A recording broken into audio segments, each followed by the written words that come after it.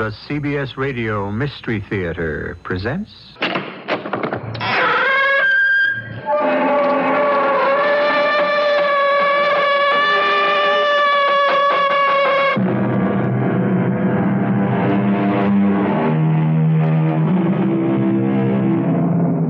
Come in. Welcome. I'm E.G. Marshall. The young soldiers fret and worry about the bullet that has their number on it. But it doesn't bother the old soldiers at all. They can feel fatalistic about and resigned to the bullet that has their number. The one that really worries them is the bullet that's labeled to whom it may concern. Don't come near me. Rebecca, what are you saying? Keep away. But I love you. Leave here. No. But we're going to get married. Go away before I cause something terrible to happen. Oh, darling, how can you cause something terrible? Believe me, it will be horrible. A fire. Rebecca. A flood. What did you say? An earthquake. Listen. Listen.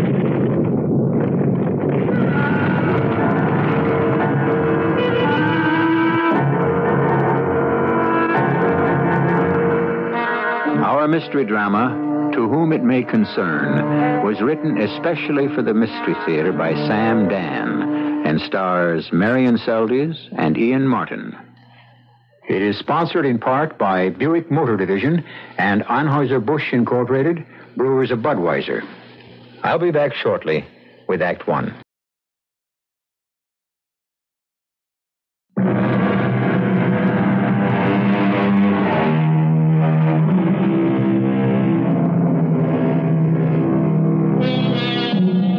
Something beautiful and vital has gone out of our lives.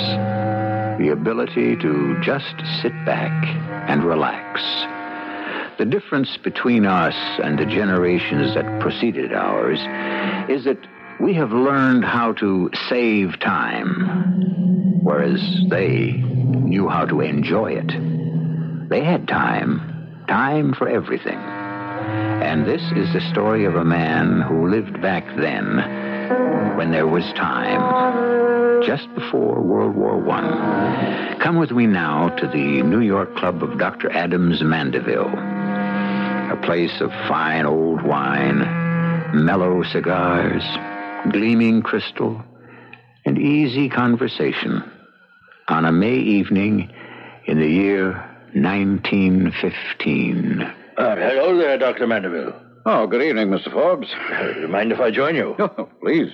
we see so little of you here at the club these days. And I'm afraid you shall see even less. I'm off to London. London? Oh, you can't be serious.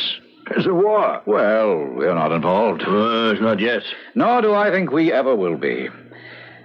And in any event, I must go to London. May I ask why? Well, we're having the International Conference on Psychiatry. This uh, delving into the mind. It's tricky business, no? Oh, yes. It Does it, uh, well, uh, can it, can it help your patients? Well, I don't know how much it helps my patients, but I know it's helped me. Help you? Well, how? Let me put it this way it's going to help me.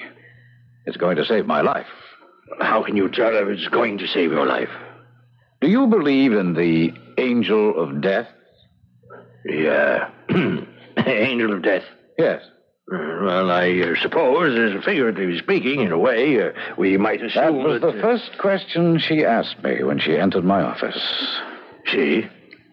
Mrs. Rebecca Owen, a widow, most beautiful woman. Well, when I say woman, I mean. I mean a woman of almost 40 when the fair sex are in the glorious August of their beauty, a fully realized woman. Uh, Well, I must say, this doesn't sound like a doctor speaking. Well, doctors are also men. It was a month ago. She'd made an appointment to see me on the telephone, and when she sat down in my office, her very first question. Dr. Mandeville, do you believe there is an angel of death? Why? Why do you ask? I understand you are one of those new doctors of the mind. The angel of death, is he real or is he a, a figment, a creation of my own? Mrs. Owen, I know of no scientific evidence that can account for the existence of an angel of death, or of life, or of any angel, for that matter. Well, nor is anyone else such evidence, except perhaps myself. And what is your evidence, may I ask? An awareness of his presence. Uh huh. What sort of awareness? A feeling that I'm not alone. Awareness, feeling, but is there anything tangible? It's tangible enough to me. The word tangible literally means something that can be touched. I know. And I feel his touch. Where? All. Oh, dear. Uh, this may sound indelicate. I feel his touch all over my body. Yes?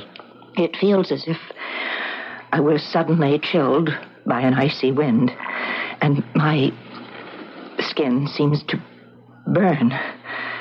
It sounds contradictory, I know. Ice and fire. No, no, no. Please continue, Mrs. Owen. And I feel as if my hand is being taken. Taken. Taken in someone's grasp. You feel a hand. The fingers of a hand closing on mine. And you see? No one. Nothing. But you feel these fingers. Yes. And how do they feel to the touch? Well, again, fire and ice. Burning fire and cold, cold ice. The icy coldness of death. And then what happens? The fingers of the hand, the hand that has closed over mine. It. It seems to hold me in its firm grasp, and it begins to pull me. I. I cannot. I have no will t- to resist. And then? And then the ice becomes warmer, and the fire becomes cooler, and the fingers of the hand that is holding mine seem to slacken their grip and slip away from me. And suddenly, I feel his presence no longer. He's gone. You, um. You're quite sure of all this? Oh, yes, it's exactly the same way, each time. Oh, then this has happened several times. Oh, yes. How many? Oh, innumerable. Uh, I have a theory. Would you like to hear it? Oh, yes, please. He wants me. Well, you might say if he exists, he wants all of us. When our time comes. But I think my time has already come, Ah, I'm afraid I don't understand. and that he was unable to take me at that time. And since I escaped him, he must keep after me. And it becomes more and more difficult for him each time. And so he tries harder and harder. And And, and yes, Mrs. Owen. I've never been able to say so much to any doctor. Most of them would give me pills for my nerves long, long before I could get this far. Well, I promise to hear you out. Well, it's about all, except that they keep getting worse and worse. What keeps getting worse and worse? The disasters. So many people die. And it's because of me. He doesn't really want them. He wants me. And the reason they die is because they just uh, happen to be there. Yes. Why do you say yes? Do you know what I'm talking about? Do you really understand what I'm saying? Mrs. Owen, did you have a happy childhood? Why do you ask? Oh, well, in psychiatry, we begin with the child. Well, that makes sense. Yes. Well, it all began with my childhood. That was when he first came for me. When who came for you? Well, who have we been talking about? The angel of death. Oh, yes, of course. And, and that's when I felt his grasp for the first time. It happened when I was five years old. We were living in Johnstown, Johnstown, Pennsylvania. Johnstown, Pennsylvania. Now, that name seems familiar. I'll never forget. I was in the kitchen of our house. We had a farm, oh, a big farm, about 500 acres. And I remember there was an argument. Mama and Papa were having a fight. It was about the South Fork Fishing and Hunting Club. These were the very wealthy men who owned the property where the dam was located. Now, Mama, be reasonable. Be reasonable. Have you lost your mind? No, I haven't lost my mind. What's more, it's a found hundred dollars. Well, I don't want that money. Uh, you post the no hunting signs this year like every other year. Mama, Mama, it's just for ten days, and the only ones who'll be allowed to hunt are members of the club. Look, I won't have people tramping all up and down the property, firing off guns every which way. Mama, these are all millionaires, rich men. They have a lot of respect for private property. And they know how to hunt very good, too. Well, don't they have all that property of their own around the dam? Wait, you know that over by the South 40 is where all the deer trails cross? Yeah, and another thing. I'm against killing poor dumb animals. And so am I. But for a hundred dollars. And what about Rebecca? Uh, Rebecca? She goes running around the woods all the time. Now, with all them hunters shooting away, I. Well, so for the next ten days, you gotta keep her in the house. How can I keep the child cooped up all day? For a hundred dollars, you better find a way to do it. But Mama couldn't. Although she laid down the law in no uncertain terms, I was a restless child filled with unlimited energy. I couldn't sit still. I always wanted to be where I wasn't. And so, one afternoon, when Mama stretched out for her nap, I was just out the door, running through the woods, happy the way only a child can be. And I heard a voice suddenly shout, Look out, Andy! But the voice was too late. There was a noise and a flash, and a dull blow against my chest. That was the first time I felt the icy cold and burning hot fingers close about my hand, and the gentle pull that urged me forward. And I heard a voice. Hey, good Lord, Andy, you killed her. Look at the blood. The bullet went right through her chest, through her heart. Oh, she must be dead. Yes. I was dead. At least I thought I was dead. I should have been dead. The angel of death had come for me. But suddenly, the fingers that grasped my hand loosened their grip. The ice became warm, the fire cool, and I just slipped away from him. Or he from me. And I was free. You, uh, were shot through the heart? Yes. Could the bullet have missed? No. But surely. Oh, the doctors came from miles around. The best doctors. The club saw to that. They were amazed. Well, how did they account for it? They didn't. Those doctors couldn't. They said perhaps the bullet broke as it hit my chest and just a small piece of it penetrated my heart. Or perhaps the tissue was able to repair itself. But really, they were only guessing. I was shot through the heart. That much is certain. And you lived. That much is obvious. I lived through other things, too. I was bitten by a copperhead a year or two later. Well, people do survive snake bites. Oh, rattlesnake bites sometimes. But very few folks are ever actually bitten by copperheads. And those that are. You're very lucky. Very imaginative. You know, you're a charming lady, Mrs. Owen. May I ask why you have never remarried? Because I'm frightened. Of marriage? I believe I told you. The angel of death is so intent on capturing me that those around me are always in danger. Well, you're sitting here in my office. Am I in danger now? Yes, Doctor. How? I don't know. The, the, the building might collapse. It's not likely. It's a new building constructed of steel and stone. There might be an earthquake There never have been any here in the East. or a flood. Well, hardly. Well, there was a flood once. Actually, it was 26 years ago. When I told you I came from Johnstown, Pennsylvania, you said the name seemed familiar. Do you remember why now? Oh, yes, of course. The flood, the famous flood. The Johnstown flood. Were you there at the time? Yes. And and you lived through it? Yes, I lived through it. Unfortunately. Now, why do you say unfortunately? It wasn't fair that I should survive. I really deserve to die. I caused the flood, Doctor. I'm the one to blame for the Johnstown flood.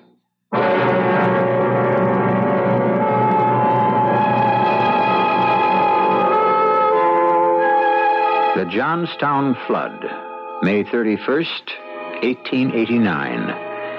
The dam across the Conemaugh River had become obsolete and inadequate.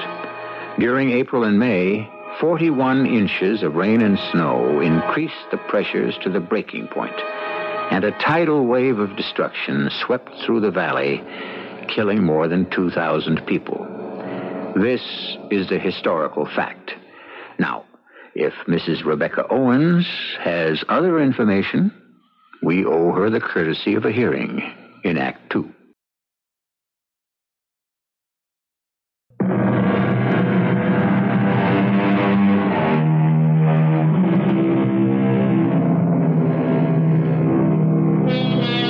Well, here we are at the very beginning of May, 1915. Remember that date. It will be significant.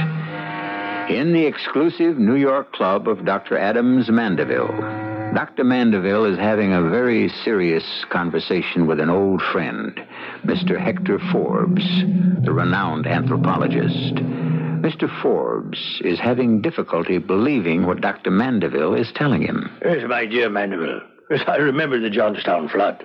There are people who can be held responsible. But surely your patient, this uh, Mrs. Rebecca Owen, no, she couldn't be one of them. But according to her story, She mentions the South Fork Fishing and Hunting Club. Now, it was a group of millionaires who had bought the land from the state. The dam was located on their property. They refused to spend money for any repairs, and the people of Johnstown didn't believe that there was any real danger either. So there's blame enough and to spare for everyone.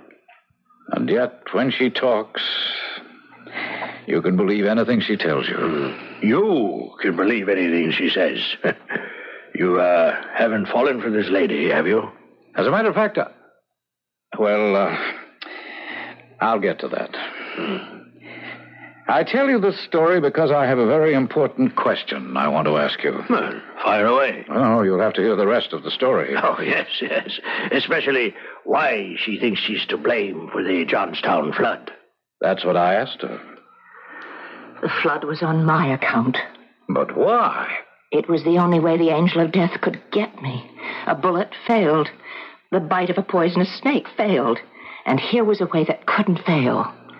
Or so it seemed.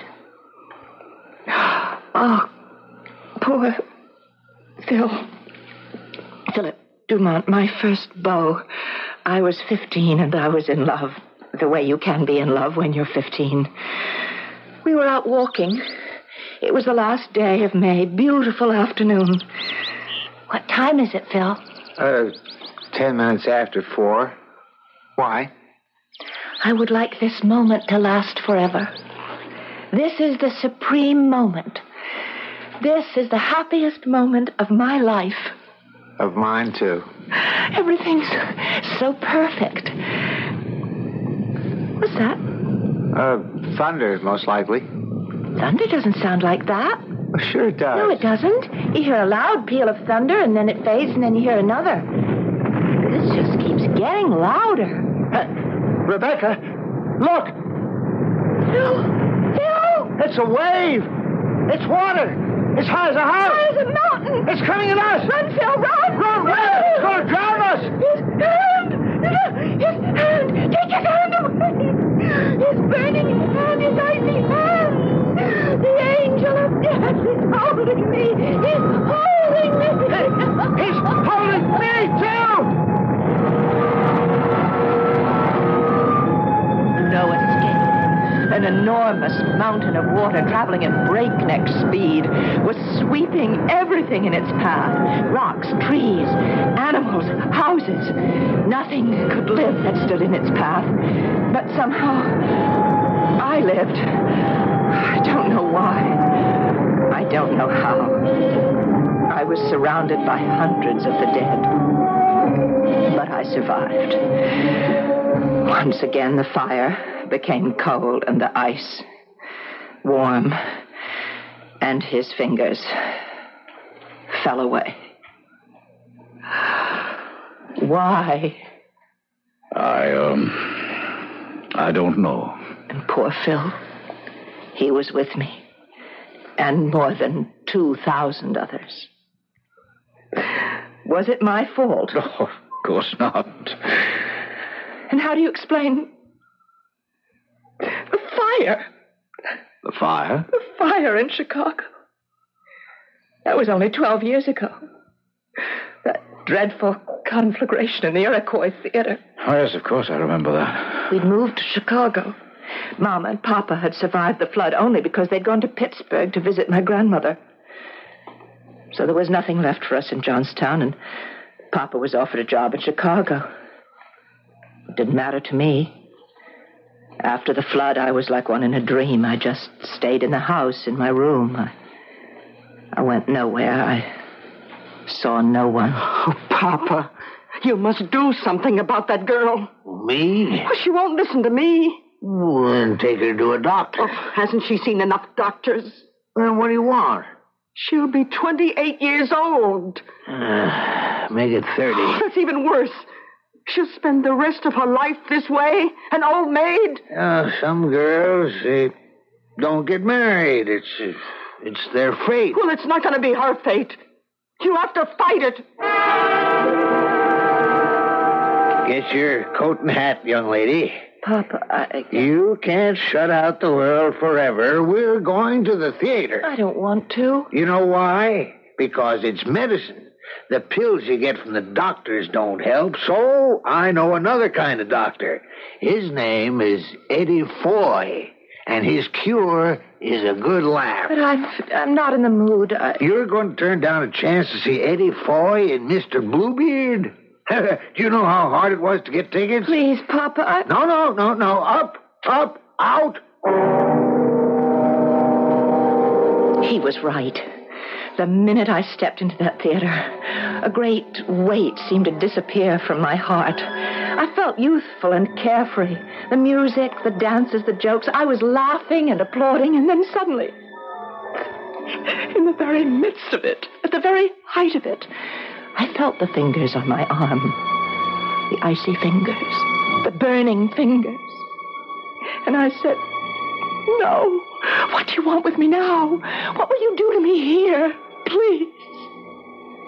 And then I heard the most dreadful cry in the world in a theater. Fire! Fire! Almost a second. There was a deathly stillness. And then there was the panic. More than 2,000 well-dressed, civilized people were transformed into raging, mindless, stampeding animals. And when it was over, finally, almost 600 were dead. Yes, I read about it. The fire actually did very little damage, I recall. Most people were trampled to death. Papa died to save me. He saw we couldn't make it to the exit, and so he protected me with his body. I'm sorry. Papa left the world, but I came back to it.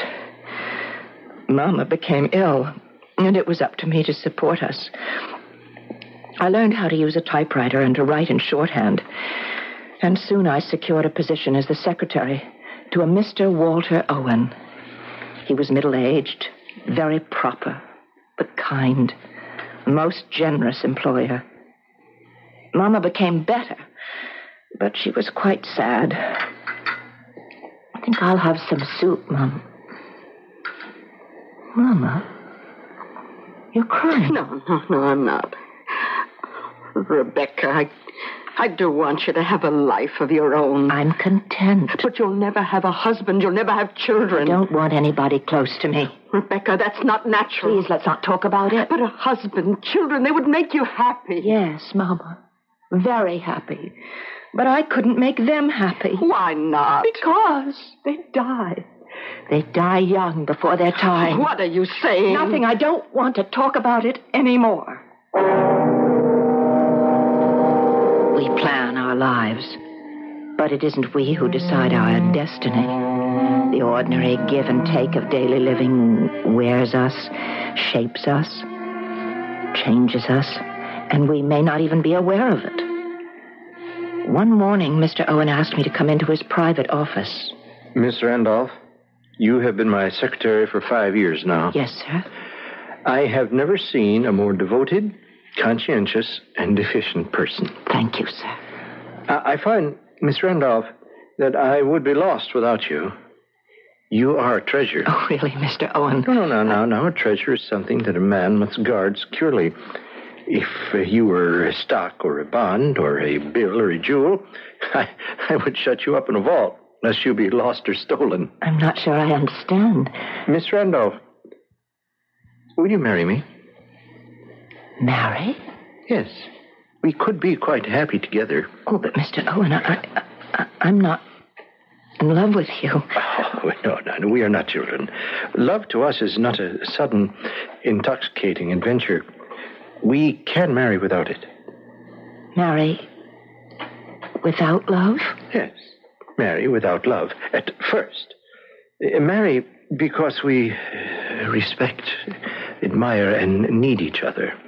Now, we are both lonely people. I know in my heart that love will come to us.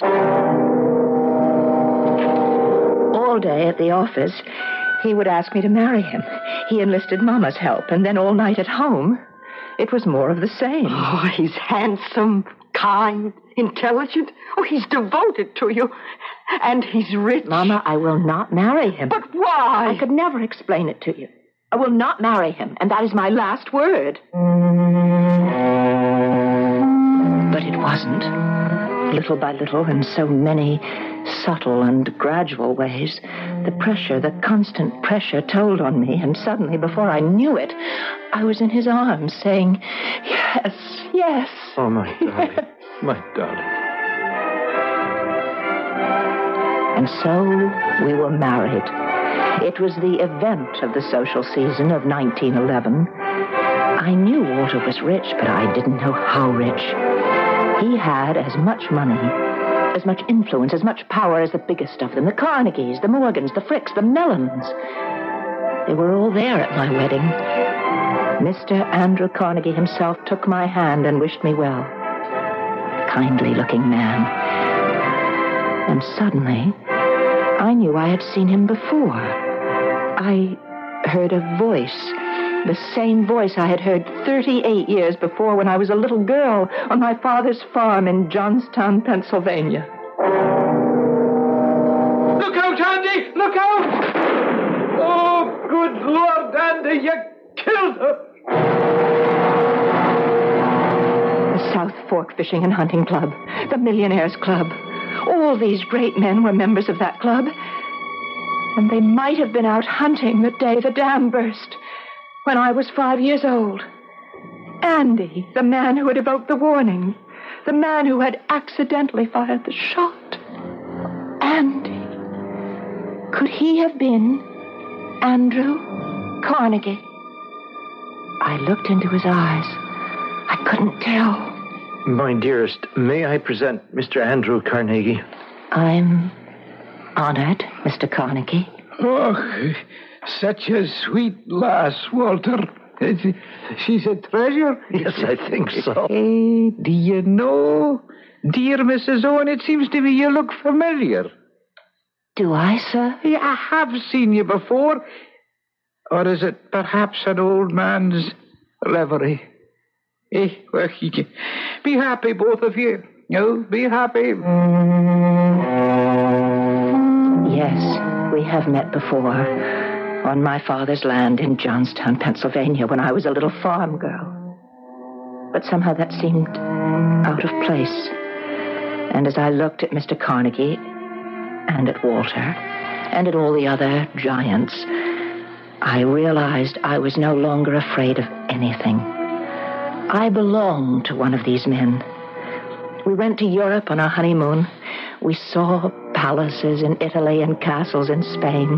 We waltzed in Vienna, marveled at the Louvre, and finally decided to come home. I was so happy. Yes, I can imagine. I was happy, but I was also apprehensive.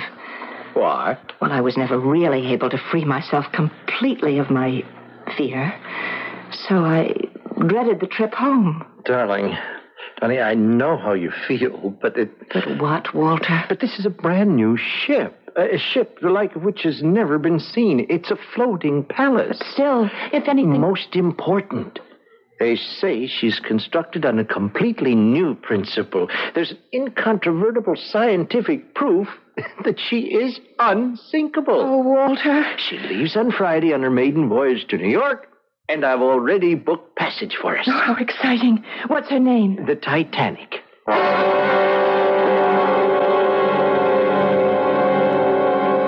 On April 15th, 1912, a minute before midnight, the Titanic struck a killer iceberg some 2,000 miles from New York, with the loss of some 1,500 lives. Among the casualties, oh, now I shall have to stop this, this business of anticipating the story. We still have a third act.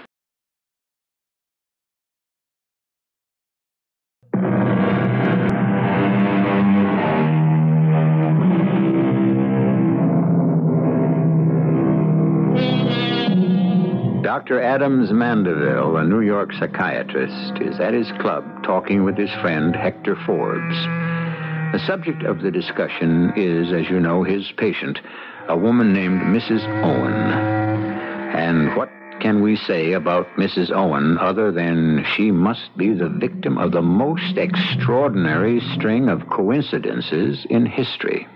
Uh, are we perhaps, Doctor, in some uh, psychic area? Is it possible she is not a human being? No, she's human, completely human. Human and. and lovely.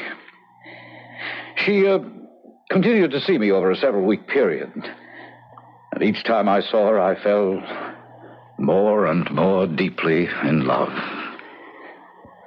Rebecca, darling. No, no. Oh, please, please, Doctor. you can't call a man doctor after he calls you darling. I must leave you and never return again. Why? Oh, don't you know why? Oh, it isn't true. Everything you've been telling me about the the angel of death. How can you say that? I felt him. I felt his touch. No, darling. You can't convince me. I let poor Walter convince me, and he's dead today. Walter would have died in any event. He died because the angel of death came for me. There is no such being. Oh, you say that to me. To me. I'm 41 years old. And you don't look a day over 25. Be serious. And five times in my life, I have felt his presence in my body. Five times, I have felt his hand on my arm. Five times he's held me in his grasp. Yes, yes, I know you said that. And the last time, the last time was the worst time of all. He was so determined to have me, he destroyed the greatest ship in the world to get me. Oh, I can hear the music. It was such a gay, wonderful party. I was dancing with Walter. Happy, darling? Oh, yes, yes. See, I told you. Everything would be all right. I don't know if it's you or the ship, but I feel so safe, so secure. It's both of us, darling. Nothing but happy and wonderful thoughts from now on. Let me get you a glass of champagne. He walked to the refreshment table, and I lost sight of him in the crowd, and. And I. I never saw him again. Because at that moment, I felt the fingers, the icy fingers of the angel. The angel of death. And I screamed, No! The music stopped. Everyone turned to look at me. Was I mad? And then. uh, then there was the most terrible, grinding roar as if some monstrous animal had ripped the entire bottom out of the boat.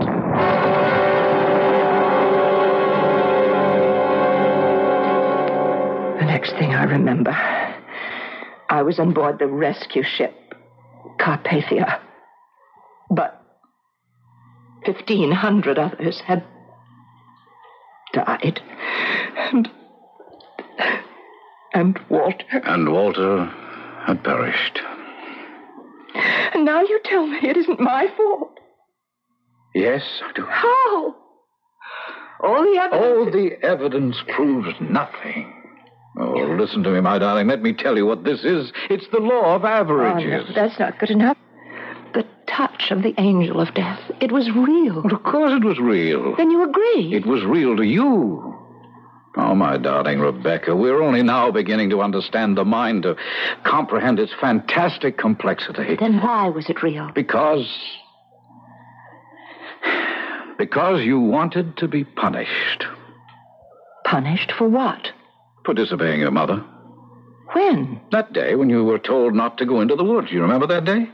That day when you were five years old and your mother took you aside and. What was it she said to you over and over again? She. She said. You're not to go into the woods. You are not to leave the house. If you disobey, you will be punished. Severely punished. Punished. Punished. That's right. Punished. Punish. Punished. But you did disobey, didn't you? And Rebecca, you were not punished. And then, because you were almost killed, you were rewarded. You were fussed over and coddled and spoiled. Yes. And all the time you knew that you were to blame. You remember the face of the man who had shot you. You could see his agony and his oh, anguish. please. No, no, no, no, no. This is necessary, dear. You look for death. You seek him out. You court him. You spin fantasies about him. Oh, darling, there is no angel of death except in romantic mysteries. But I. Face it, and your whole world will be changed. Oh, I never looked at it that way. Oh, my darling. We'll we'll go to England on our honeymoon. I'd like you to meet Mama. Oh, well, of course. Could you leave now? I bought Mama a house in Ossining. It's up on the Hudson River. Oh, let's tell her today. Well, certainly. Let's see, it's uh, 10.30 now. I have some hospital calls to make at 11, so uh, I should be free by noon. We can get the train at one o'clock. Meet me on board. I'll be sitting in the last passenger coach. One o'clock on the Ossining train, the last coach. Yes, it's the only one that isn't a smoker.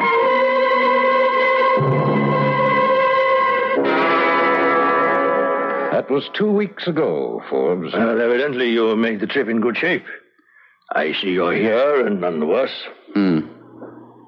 You don't know what happened two weeks ago on the railroad. You see, I was delayed at the hospital, and when I arrived at the station, the train had already pulled out. Well, you missed it, yes. Yes, and the train had traveled some 25 miles to a place called Tarrytown when. when there was an accident. Oh. Oh, no, no, no. Don't, don't tell me. Yes, some switching instructions had gone wrong, and an express train plunged into the rear of the Ossining local. The rear It car. was completely demolished. There were five passengers, four were killed immediately. But the fifth Rebecca.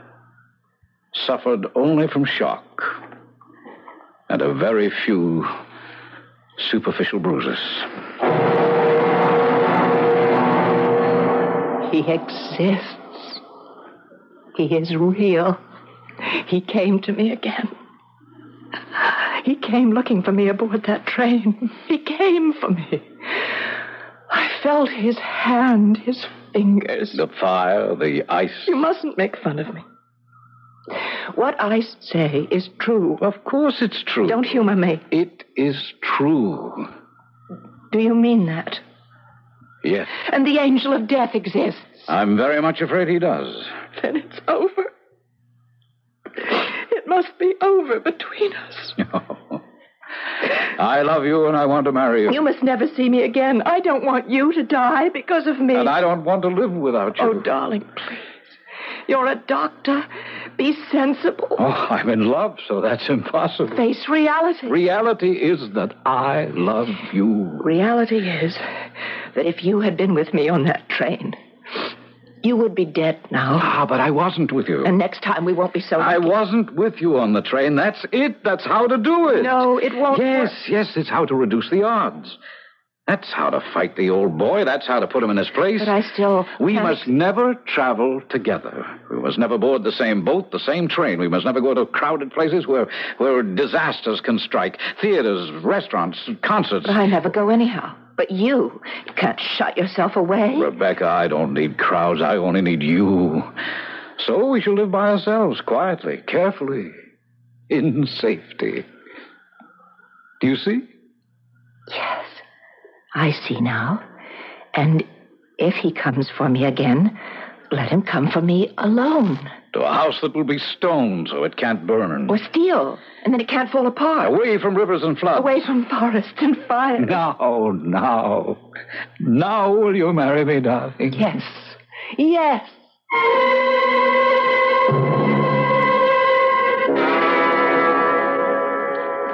Rebecca and I were married the day before yesterday. well, congratulations. Uh, uh, well, how does it happen you're not off on your honeymoon? Oh, we're going to London, where we shall also take in the conference. I'm leaving tomorrow morning. Well, you're off on a honeymoon, and you say I'm leaving? Well, naturally, separate ships. It's the only way we can travel. Oh, oh, yes, of course, of course. Rebecca sailed this morning on the Imperia, and I had to look around for something at the last moment. Yes, well, on such short notice, you'd be lucky to find a berth on a tramp steamer. Oh, I did considerably better than that. There was a last minute cancellation, and I was able to get a cabin on what many people consider the most comfortable ocean liner afloat. oh, really? Which one is that? The Lusitania.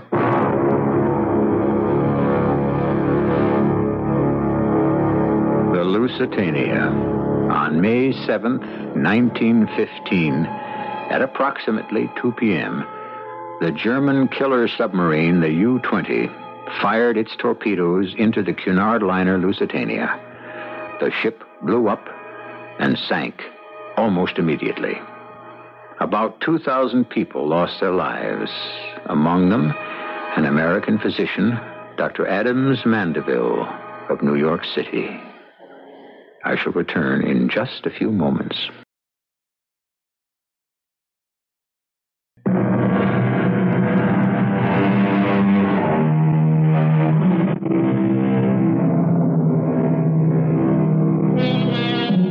The old soldiers, as we told you in the beginning, are worried mostly about the bullet marked, to whom it may concern.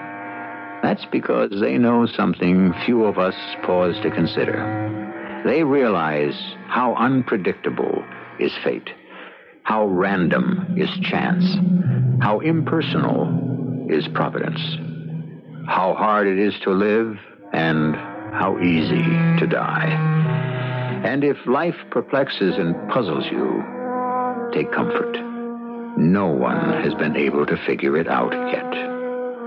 Our cast included Marian Seldes, Ian Martin, Bryna Raeburn, Bob Dryden, and Earl Hammond. The entire production was under the direction of Himan Brown. Radio Mystery Theater was sponsored in part by True Value Hardware Stores and Certainteed Fiberglass Attic Insulation. This is E.G. Marshall inviting you to return to our Mystery Theater for another adventure in the macabre. Until next time, pleasant dreams.